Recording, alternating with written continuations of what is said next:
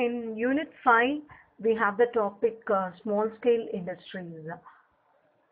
Small scale and uh, small entrepreneurs, uh, small business enterprise function around the world. But in uh, developing countries, it occupies a very special place. Uh, small scale industries uh, play a very major role in countries where labor supply is more and capital is relatively scarce. Small scale industries tend to be labor intensive. Uh, government across the globe encourages uh, SSI units very well. Uh, the definition of uh, small business in India is uh, a unit operating mainly with uh, hired labor, usually 10 to 50 hands. And there are many definitions. Another definition is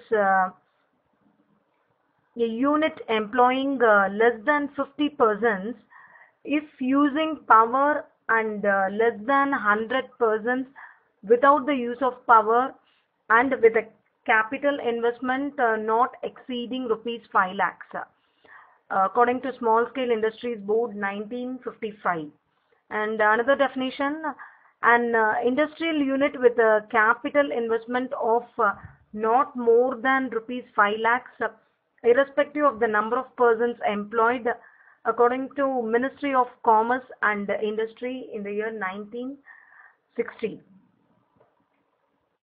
so we have uh, more definitions for uh, small business uh, and uh, different definitions of uh, SSI are uh, in 1950 the government defined SSI as number one those using power but employing less than 50 persons. And uh, uh, second one those not using power but employing less than 100 persons. Third one uh, uh, SSI with uh, capital investment of less than rupees 5 lakhs. Another definition uh, in 1975 the SSIs uh, with uh, capital investment of rupees 10 lakhs and ancillaries with um, 20 lakhs classifications of uh, SSI as per 2006 MSME Act uh, type of unit and the criteria. Type of unit in SSI uh, the criteria is investment in plant and machinery does not exceed rupees 5 crores. Uh, second one uh, in type of unit we have ancillary unit. The criteria is investment in plant and machinery up to rupees 5 crores and uh, supplies at least uh, rupees 50% of output into the parent unit.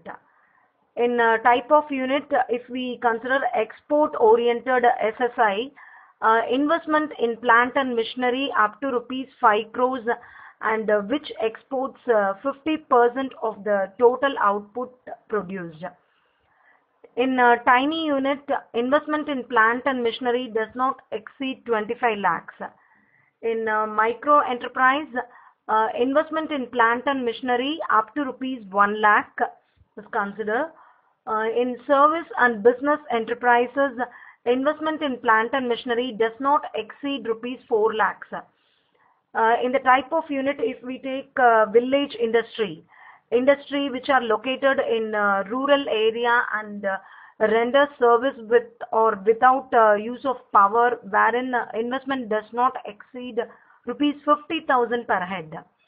In women enterprise in the type of unit uh, if we take women enterprise an enterprise promoted by women wherein uh, women own not less than 50% of share capital if we consider uh, cottage industry, it is one uh, which has very small investment and then uh, uses simple equipment owned by individual, uses family labor and local labor, uh, produces goods at home itself. We will move on to the characteristics of small scale industries. Uh, the main character are proprietary nature that is uh, most SSIs are owned and uh, managed by the owner himself or uh, herself who directly participate in all aspects of its functioning and its uh, decision making Then closely held entity. SSIs are held either by sole proprietors or by partners. Hence, uh, sole proprietorship or partnerships are uh, dominant forms of uh, ownership in SSI sectors. Localized operations. Mm, if we consider uh, the operations in SSIs, uh, which are uh, confined to a particular geography, However, its market potential need need not be limited to that geography. Some SSIs uh, command national and even international markets. Next character is uh, labor intensiveness. Since the capital investment is limited, uh, SSIs cannot afford to deploy um, sophisticated uh, or uh, cutting edge technology. They employ more manpower in order to carry out various operations. Hence, they require more funds to meet their uh, daily working capital needs. Next character is uh, use of indigenous resources. Uh, SSIs use locally available resources except a few units uh, who rely on uh, imported resources simple organization. It is a very simple organization. Small enterprises have uh, fewer layers of uh, management, hence division of labor or uh, specialization is low. Then the character um, limited scale of operations. SSIs have a limited share of a given market, hence the size of the firm tends to be uh, small. The gestation period is limited scope and types of SSIs uh, cover a wide range of business activities. Uh, SSIs can be manufacturing industries, uh, trading concern, service organization, feeder industries, and uh, commercial services. In uh, manufacturing industries, we have uh, village and cottage industries, handicrafts, modern small scale industries, ancillary unit and uh, tiny unit. In trading concerns, we have uh, wholesaling, retailing, commission agency. In uh, service organization, we have professional service, lawyer firms, and then accounting services, medical consultancy firms. In feeder industries, we have specialized in producing certain types of product um, which, are uh, special product uh, services casting welding electroplating etc that type of uh, activities. Then commercial services we have uh, transport construction real estate uh, repair shops warehouse. These are the types of SSIs the objectives of SSIs are uh, generation of self-employment opportunity with low investment, then eradication of unemployment, encouragement of dispersal of uh, industry all over the country, uplifting uh, industrially backward areas, uh, promotion of balanced regional development all over the whole country, uh, ensuring equitable distribution of national income, enhancing uh, people's standard of living, effective and uh, efficient optimal utilization of uh, untapped resources and uh, human resources. The role or uh, significance of SSIs are more. Uh, the role is employment generation. Uh, the existence of SSI is uh, justified on the ground that it generates enormous job opportunities to people. Uh, it is said that uh, SSI generate 26 employment for every rupees 1 lakh of uh, fixed investment as against 4% in the gender in the large scale sector. It provides self-employment to artisans, craftsmen, technically qualified persons and also many professionals. In short, we can say it accounts for uh, 75% of employment generated in industrial sector. Around 18 million people are uh, stated to be employed in this sector. Then optimization of capital. SSIs require uh, very less capital per unit of output and uh, quick return on uh, investment thanks to shorter uh, gestation period. In a capital scarce country, uh, the SSI sector acts as a uh, stabilizing force by ensuring high capital output ratio and also uh, employment uh, capital ratio. Next is uh, balanced regional development. Uh, governments encourage small and more micro as well as medium industries in industrially backward regions by giving incentives and then benefits and uh, subsidies and thus uh, decentralizing the spread of industries across the country. Then we have uh, mobilization of uh, local resources. The SSI sector employs locally available labor and uh, uses material resources and uh, financial resources available in the neighborhood uh, which would otherwise have uh, remained unutilized.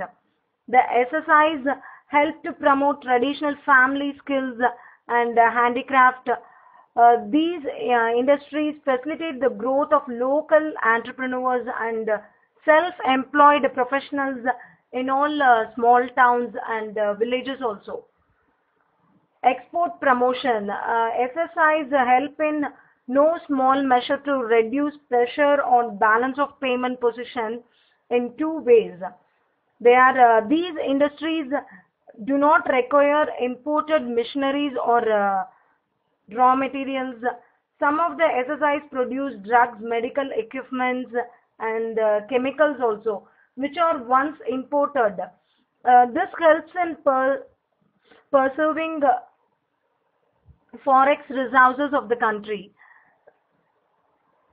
Besides, uh, some SSIs produce uh, export-oriented goods uh, which help the country earn precious foreign exchange. Next is consumer supply. SSIs produce goods of mass consumption on a massive scale. It is said that over uh, 5,000 products of mass consumption are produced by SSI sectors. Then feeder to larger industries. SSI uh, sector produces uh, spare parts, accessories and uh, components and supplies to large scale industries. Thus, we can say it serves as ancillary units to the large scale sector. Then social advantage. Social advantage is more. SSIs uh, reduce the concentration of economic power in the hands of a few people. In the absence of SSI sector, large scale sector controlled by a few capitalists uh, would have been dominant in the economy. Uh, thanks to the massive uh, presence of uh, this SMEs, uh, scores of people of small and moderate means can take part in the industrial development of the country and uh, thereby serve the cause of uh, democracy and uh, self-government. In short, we can say SSI contributes greatly to the coexistence of a partner of society with socialistic and capitalistic. Standard of living of the people uh, is developed. Services which tend to upgrade the standard of living of the people. About uh, 5,000 items are uh, made by SSI sector. These include consumer goods like uh, television set, uh, hiring aids, hearing aids, electronic goods, telephones, uh, leather goods, and uh, cosmetics, and so on. All these play a very major role in uh, enhancing the standard of living of the country. Development of uh, entrepreneurship. Uh, SSI sector facilitates uh, grooming of the entrepreneurial class. These units generate self-employment and also promote the spirit of self-reliance in society. The development of the SSI sector leads to increase in per capita income or uh, economic development in uh, multiple ways. It produces uh, immediate job opportunities with uh, relatively low capital investment. It utilizes uh, the untapped resources available uh, locally and also facilitates development of industrially backward areas and also weaker sections of the society. Now we are going to hear about registration of uh, SSI. Entering the name of the SSI in the official register of Ministry of MSME upon the fulfillment of certain conditions stipulated in the regard. SSIs with an uh, investment in plant and machinery of less than rupees 10 million uh, should mandatorily register themselves with the Directorate of Industries of uh, state government concerned. Registration of SSI unit, uh, the main purpose of uh, registration is to collate uh, statistics with respect to number of industrial enterprises operating in a particular state uh, for the purpose of regulating them and also providing them much needed incentives and uh, support services. Almost all state governments uh, in India have uh, put in place uh, more or less similar registration procedure uh, as per the guidance, guidelines issued by the union government. however, there may be some minor modifications warranted to suit to the needs of respective states the benefits of registration are uh, excise exemption uh, and then exemption from direct tax laws, uh, statutory support like uh, reservation, uh, right to claim interest on uh, delayed payment by their customers, concessional credit under priority sector lending. So these are some of the benefits of registration the main objective of registration schemes are uh, giving package of incentives and uh, support to SSIs, uh, providing uh, e uh, certificate uh, certificate to them to avail of statutory benefit, collecting statistics about SSIs, creating nodal centers at um, central, state, and district levels to promote SSIs. The features of this scheme is uh, registration is optional. Uh, there are uh, two types of registrations, namely uh, provisional and uh, permanent. The latter is given after the commencement of uh, production upon the fulfillment of certain other conditions. Provisional registration certificate is valid only for two years, while permanent is given in perpetuity. Um, provisional registration certificate. Uh, this R um, PRC is uh, issued uh, during the phase of uh, pre-operative periods. This certificate enables the enterprise to obtain working capital loan under priority sector lending. some small um, enterprises could obtain um, credit assistance for land and other approval. PRC helps uh, small enterprise in getting uh, no objection certificate uh, from various uh, regulatory uh, bodies like uh, Pollution Control Board, Labor Regulatory Board, Water, Sewage and Drainage Board. So these are some of the features of this scheme. In small scale industries, there are of two kinds we can segregate as manufacturing and services in uh, manufacturing sector, uh, the investment limit uh, in micro enterprises is up to rupees 25 lakhs. In small enterprises, it is rupees 25 lakhs to 5 crores. In medium enterprises, it is um, 5 crores to 10 crores. And in service sector, the investment limit is micro enterprises up to rupees 10 lakhs small enterprises uh, rupees 10 lakhs to 2 crores and in uh, medium enterprises we have rupees uh, 2 crores to 5 crores. The role of uh, small scale sector uh, contributes 8% of country's GDP and then 45% of uh, manufactured output of India is from this sector. It also contributes 45% to India's total exports produces uh, 8,000 value-added products, uh, employs around 40 percentage of workforce in India. It also maintains a consistent growth rate of uh, 10% annually.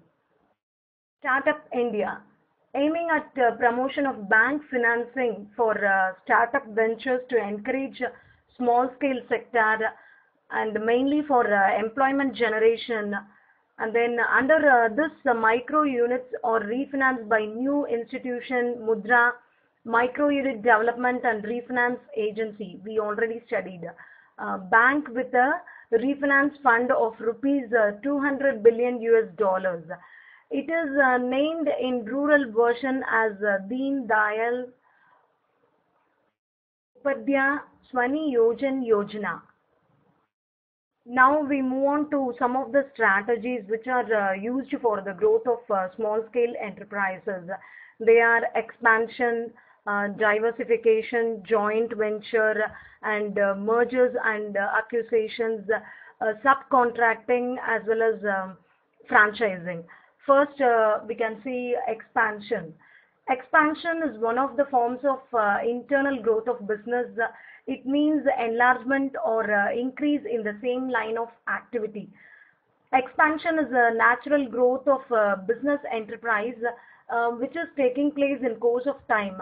In case of expansion, the enterprise grows uh, its own without joining hands with any other enterprise. There are three common forms of business expansion. The first one is expansion through market penetration. Second one is expansion through market development and uh, third one is expansion through product development and or uh, modification.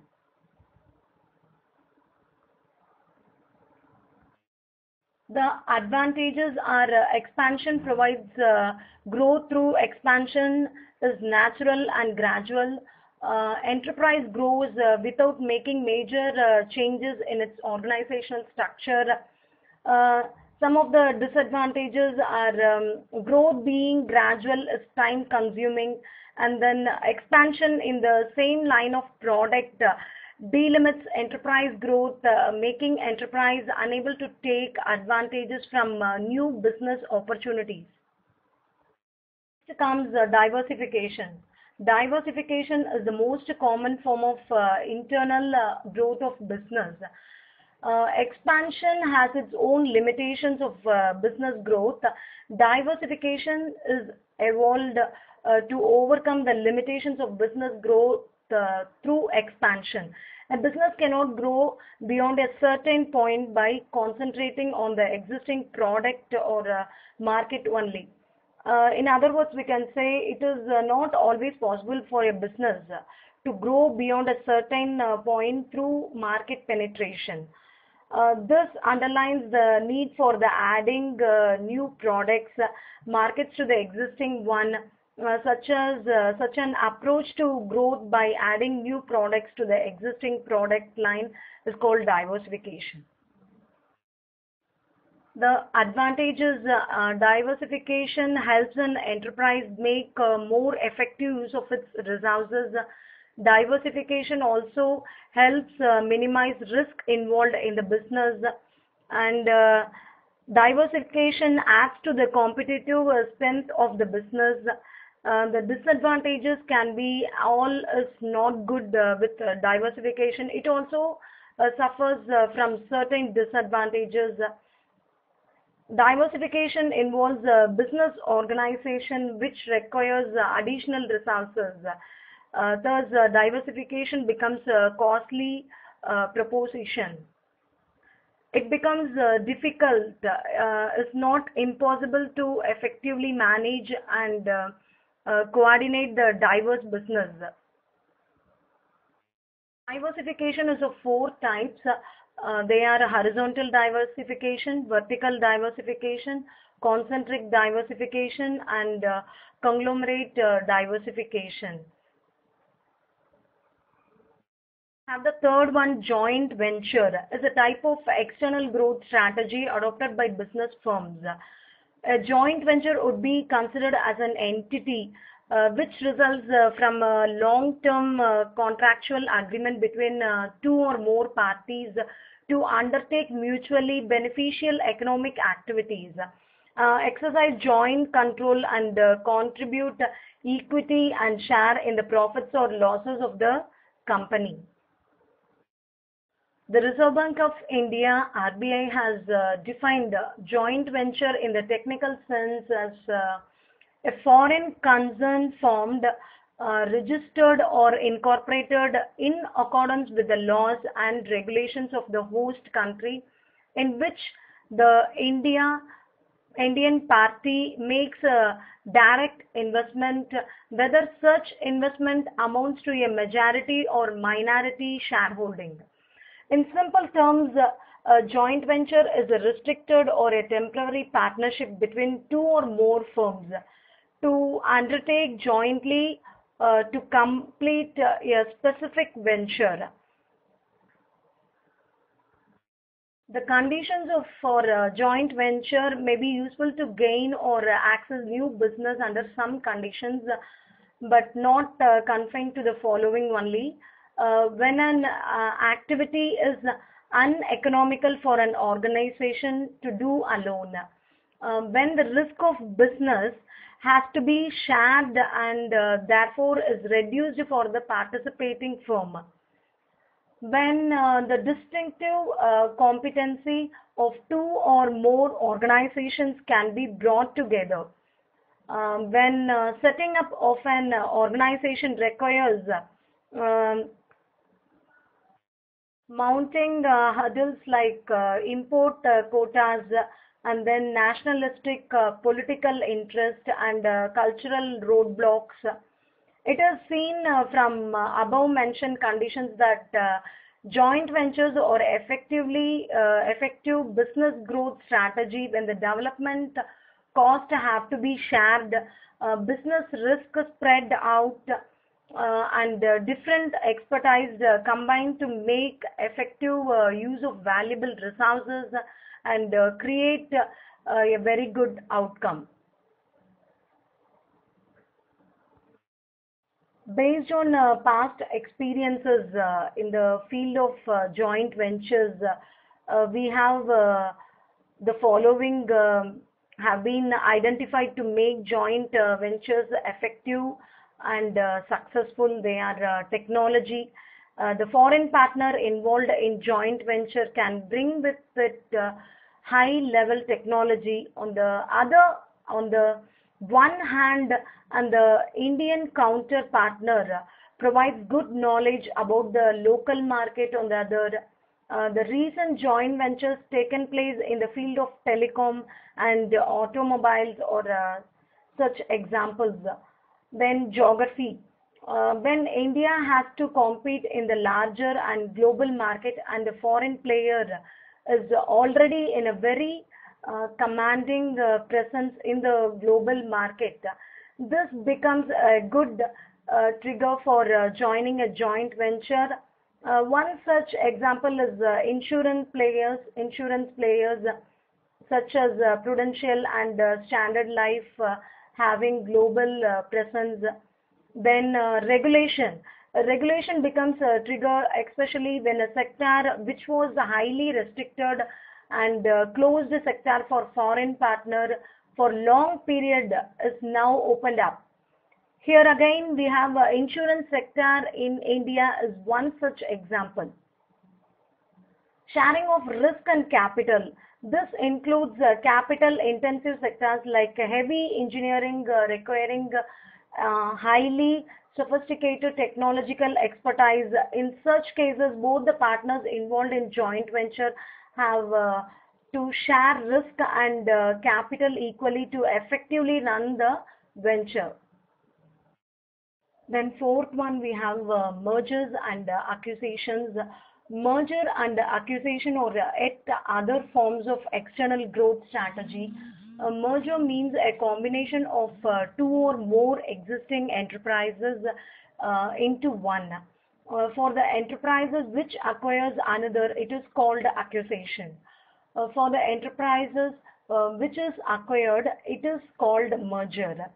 Thus, merger and acquisition are the two sides of the same coin. Then fifth one we have subcontracting. in uh, subcontracting system is a mutually beneficial uh, commercial relationship between the two companies. It is uh, this is known as ancillarization or in India and more generally as subcontracting.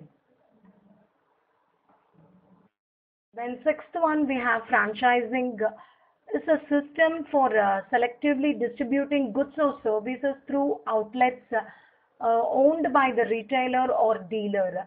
Basically, a franchisee is a patent or a trademark license entitling uh, the holder to market particular products or services under a brand name or a trademark according to predetermined terms and conditions.